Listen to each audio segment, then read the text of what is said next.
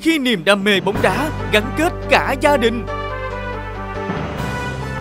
Toyota Việt Nam hân hạnh giới thiệu một chương trình hoàn toàn mới dành cho tất cả những ai yêu thích môn thể thao vua với góc nhìn khác lạ, cách tiếp cận độc đáo và hình thức thể hiện hấp dẫn.